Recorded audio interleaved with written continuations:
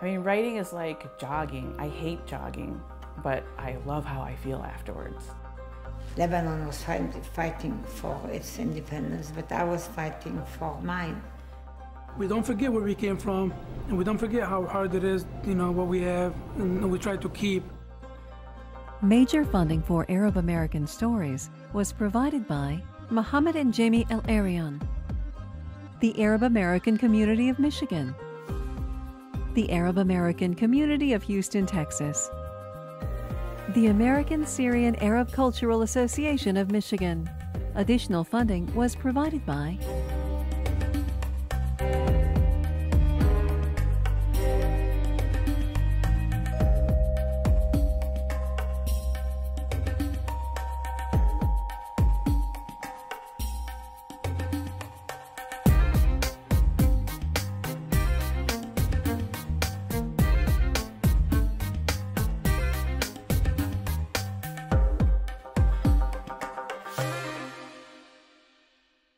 Art and life are an arabesque in these three stories. Author Alicia Erian mines her life's experience and melds it with her own imagination. International artist Huguette Caland has found America to be where she can most freely express herself artistically. Hassan Faraj's life was actually turned into art. The story of this beloved neighborhood butcher became the subject of a community theater piece. Alicia Erian is a writer born to a Polish mother and an Egyptian father. Her critically acclaimed novel, Towelhead, is a semi autobiographical coming of age story. Alicia candidly admits that one of her strengths as a writer is that she's never afraid to embarrass herself for a good story. I was a very poor student most of my life. And in fact, it, it seems to be because I had um, a, a heavy duty case of undiagnosed ADD. Um, so I was diagnosed in adulthood, and now I take drugs, and my life is different and better. And um, and I can say that on camera because it's in my book, so everyone's going to know anyway. I mean, writing is like jogging. I hate jogging, but I love how I feel afterwards. I decided to become a writer when I was in college at SUNY Binghamton. So I looked at the course offerings that they had listed on the wall, and I just thought, I can't do any of this. There is no way in hell. I mean, I had to go to community college to get my grades up so I could even get into, you know, SUNY Binghamton. It was a disaster. And then I saw like creative writing 101 and I thought, I could probably do that. I could probably like, you know, score an A because I could write. So then I started, you know, taking the classes and I actually realized I wasn't that great, but I had two things that I was willing to do, which was embarrass myself and expose myself hugely, which I'm still doing. And then also, I wrote longer things than anyone.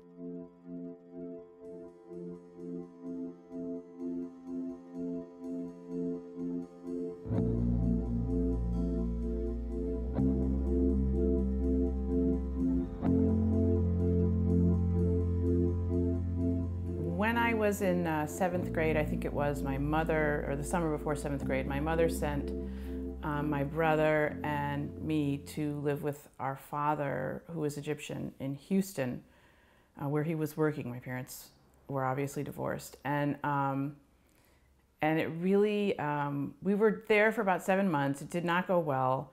Uh, my father is a very smart and funny man, but he's also um, very difficult and um, and he wasn't the greatest father. Daddy met me at the airport in Houston. He was tall and clean shaven and combed his wavy, thinning hair to one side. Ever since my mother had ground up his glasses, he'd started wearing contacts. He shook my hand, which he'd never done before. I said, Aren't you going to hug me? And he said, This is how we do it in my country. Then he started walking really fast through the airport so I could barely keep up. So Jasira goes to live with her dad, and she's um, she's very very lonely, and she's very desperate to be loved. She has two very self-centered parents, and her father is also abusive and frightening at times, even though he's at other times sort of can be warm. He was sitting in his chair with his TV tray in front of him. He had cooked a couple of steaks for us in the broiler and made a salad. My plate was covered with little clumps of gray gristle I couldn't chew into small enough pieces, but there was no gristle on Daddy's plate. I couldn't tell if he was a better chewer than I was or if he'd had a better piece of steak. The nice thing about the TV trays was that, with me on the couch and Daddy in his chair, we were too far apart for him to reach over and slap me, which he might have done if we had been sitting at the table. I always thought of my father as weird and different because I didn't like him, because he frightened me. I think that if I had liked him, if he had been not abusive, not frightening, I don't know that I would have thought it's horrible to be it's horrible to be half Egyptian, which was I think basically what I always thought. And then I met the rest of the people in the family and I was like, "Wait a minute. I like these people. They're really cool. They're really fun." My uncle in particular. And then he had this conversation with me one time when he was visiting my father. And he said to me, um, "Oh boy, I don't want to get weepy." He said, he said, Your father made a big mistake with you and your brother. And that was the first time that anybody had ever, you know, anybody like um, connected to my father. And he had never seen us growing up, but anybody connected to him and said, He messed up. So that experience with my uncle and, and that lovely thing he said um, was a big part of starting to feel like maybe it was okay to be um, Egyptian and and um, you know that was I think he I think actually my uncle was probably a, bit, a very important part of my being able to change my attitude.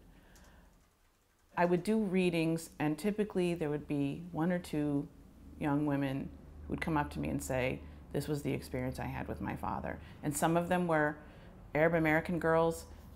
Um, my, a colleague of mine at Wellesley, who's Korean, said, This is my father. Indian women said, This is my father it, it, it was sort of this universal um, foreign difficult dad book. And, and women seem to not all women but many women seem to connect to it in that way. Memoir is narrative and analysis. The, the present of the of what, whatever time period you're talking about and then this looking back voice and what does it all mean this interpretation the memoir is a book about how I got married when I was 27 to a very nice man who was four years younger than me. And I was really completely immature and also, I think, had a lot of mental problems. I actually started therapy at a very young age with this fantastic woman named Joy. And her whole point was you have got to figure out how to parent yourself. Your parents aren't going to be able to do it for you. And then you have to go out in the world and deal with people. And I never really understood what she was talking about until I went to college and I had difficulty getting along with the people that I lived with. And then I go out in the world and I have difficulty having relationships with men. Um, and then I meet this very nice man who I spend several years pushing around and being verbally abusive with. And then my marriage ends, and I realize how messed up I was. And I begin slowly, slowly, this process of change. And I told my students, I need to, I had, I was divorced in 38. I need to find a man. I need to get a husband. I need to make some babies. And if you girls know of anybody, then you could help me out, maybe.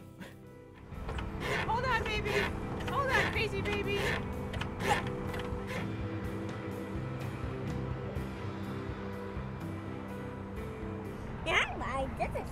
And so I did, bizarrely. You know, I told these girls in my class, in my creative writing class, they needed to find me a husband so I could make some babies. And by golly, they did. That's a Wellesley girl for you. You give them an assignment and they will complete it. That's a very good joke. I haven't made that joke yet.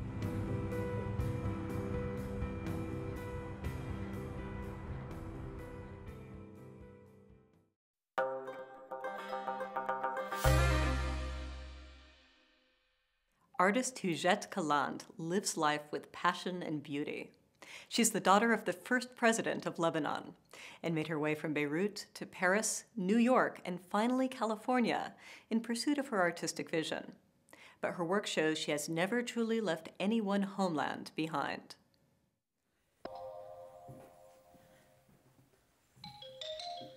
To become myself an artist was the toughest thing to do in Lebanon.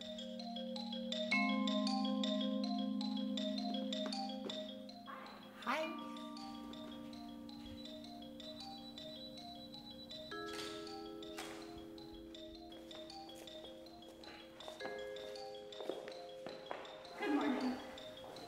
Good morning. So, uh, two or three things that we could eventually add here a few blacks and here I would like to add one or two. Not much. It was very difficult to establish myself as an artist in Lebanon when they knew that I was the daughter of my father, the wife of my husband, the sister of my brothers, the mother of my children. Everything was impossible to deal with. As soon as I had the freedom of moving, I came to America because I always wanted to come to America because I thought that the artistic expression at that time, what I knew of it, seemed to be freer here than anywhere else in the world. This is a nice piece, it's very ambiguous. Mm-hmm. What's the next step for this piece? Nothing on this, but something on that, that this will be spitted from here. You mean like another shade of gray? No, not really. We'll decide. Well, I'm just wondering whether this is paint or just the markers. I don't mind it like that. And these are pretty well done, huh? Mm-hmm. You should stop me from touching them. I know, that's why I hung them really high. I know you hung them up. When do we have to send them? Monday. But I, what I would like is to have new pieces. You have the gray one over there too, if you want to Yeah. give us a drawing to fill in.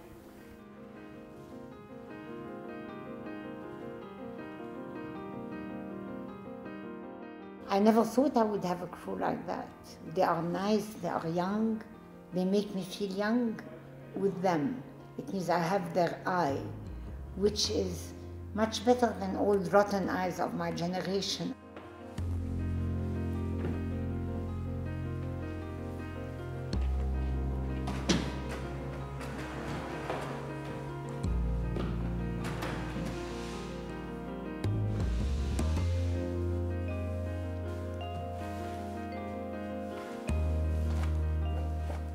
I'm born Lebanese, I became French by marriage and American by choice. I think it's extremely interesting and enriching to have grown up in uh, another part of the world. Beirut was a lovely city, lovely. It was charming. It was absolutely charming. The colors were sharp. They were. They looked like candies. The history of the Middle East was made, shaped while I was growing. My mother was the youngest daughter of a family of bankers. And my father was a Maronite from the mountains. He became the president of the republic. It wasn't easy, but he had a journey. It was a very political climate. And when I had a birthday party one day, and all the table was set for all the kids, seven of them didn't come, and their parents never called to say sorry because they were French and they were protesting the fact that my father was fighting for the independence. So these are the memories of my childhood that were quite painful. And you still are friends with them, and I married French. Lebanon was fighting for its independence, but I was fighting for my mine.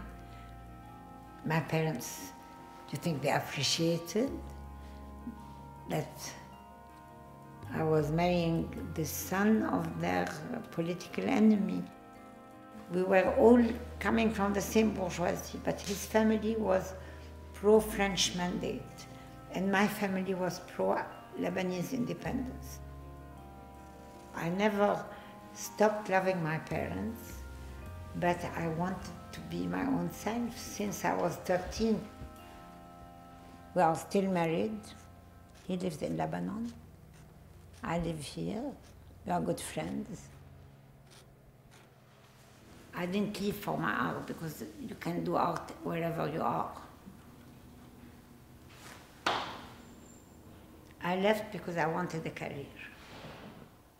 I thought that I was strong enough to confront the world with my work. I thought I had wings to fly. And I said goodbye to everybody. For 80 years old, my hands are remarkably good servants. I'm, I'm getting better with age.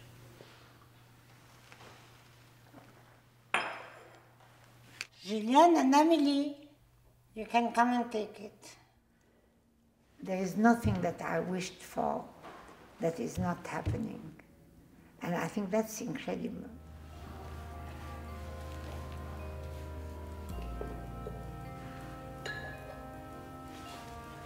Did you see how much we work? Yeah. Yeah? Hello.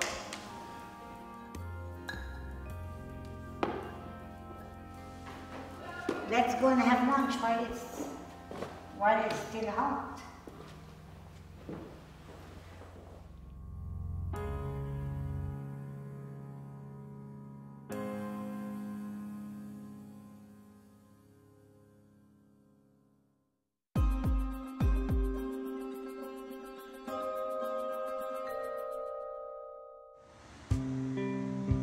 Albany Park, on the north side of Chicago, is one of the most diverse neighborhoods in America, boasting that its schoolchildren speak 40 different languages.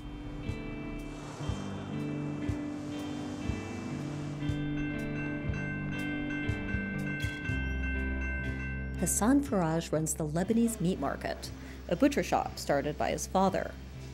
He prides himself on his knowledgeable service to his regular customers. In fact, Faraj is so embedded in the community that art imitated life when he inspired a piece in the Albany Park Theater Company's production, Feast. It's a family business.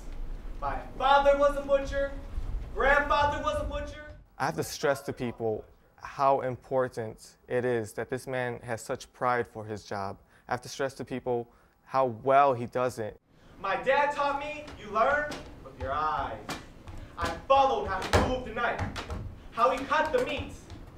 It's not how strong you are, how big you are. It's how you concentrate. My dad's been a butcher all of his life, since he was uh, 12 years old from Lebanon.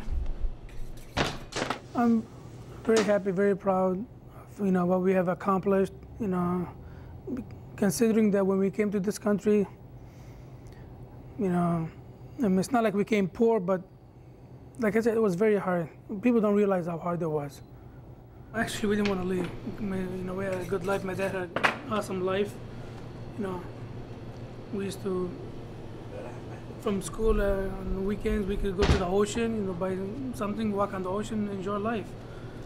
But then the war happened and we couldn't do that no more. So we had to leave. We had it so good in Lebanon. No matter how much we make over here, it's not as much as back home.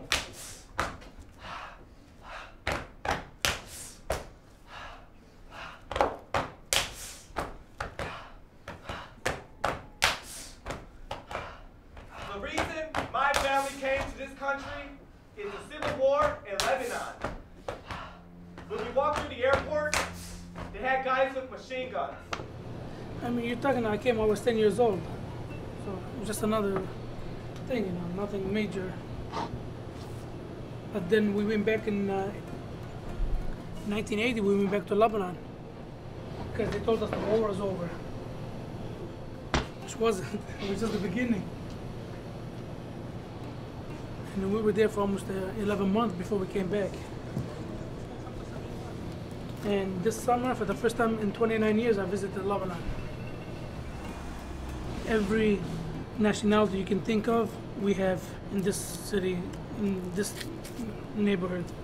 I got Filipinos, I got Korean, Mexican, Puerto Ricans, you know, Indian, Pakistani, Palestinians, Lebanese, Jordanian, Syrians.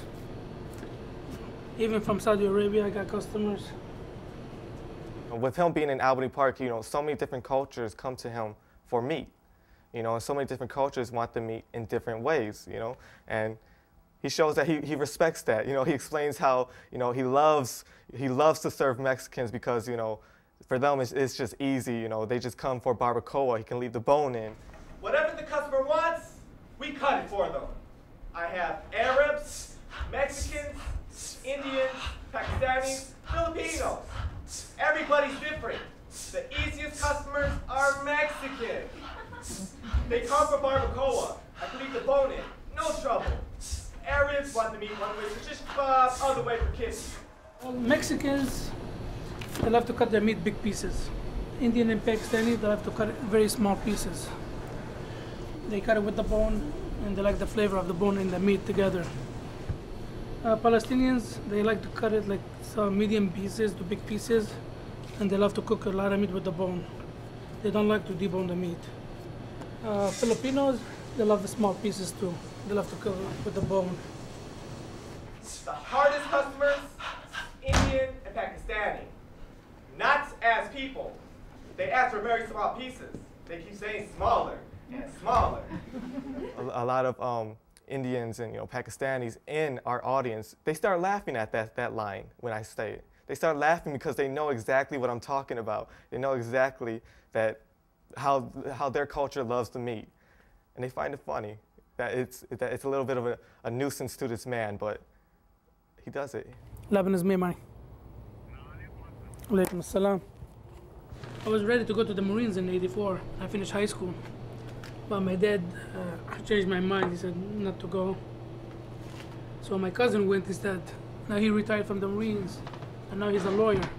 And now when you see my brothers and I tell them, you have this opportunity, you know, like grab it and work at it and take it. Sometimes they listen, sometimes they don't, but it's up to them. I mean, they're working hard in school and educate, you know, and they want to do better, which I'm happy for them because they have the opportunity that we didn't have, you know. I believe, you know, with the hard work that we put together, it gives us a good uh, life.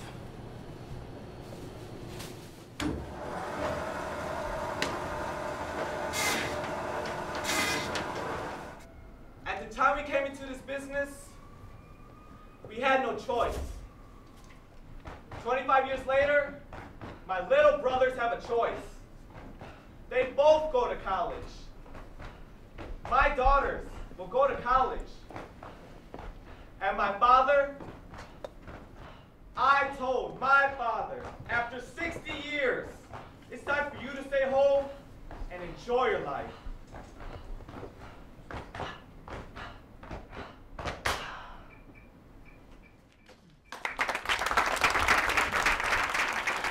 the kid that was presenting the piece, you know, I think he studied it well, and I think he probably took it to heart, you know, what I told him. But thank God for everything. Alhamdulillah, you know, we survived, and, we, and that's why we don't forget where we came from, and we don't forget how hard it is, you know, what we have, and we try to keep, you know. And that's why we try to insert to my brothers or or to my children, or to the students that came to me and they wanted to learn, you know, how we opened here and what we did, you know, and we tried to explain to them, you know, and if they listen, more power to them.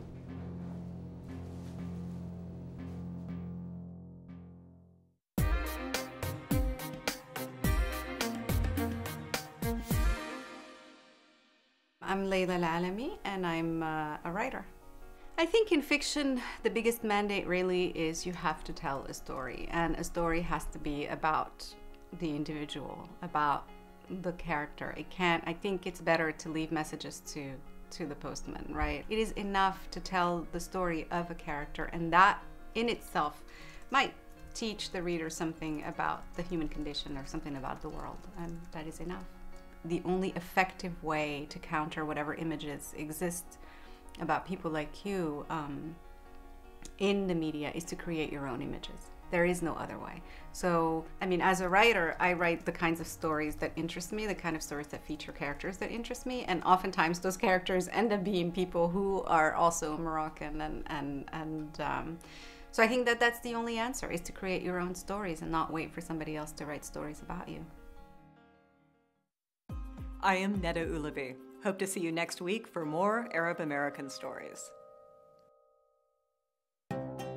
Major funding for Arab American Stories was provided by Mohammed and Jamie El Arian, the Arab American Community of Michigan, the Arab American Community of Houston, Texas, the American Syrian Arab Cultural Association of Michigan. Additional funding was provided by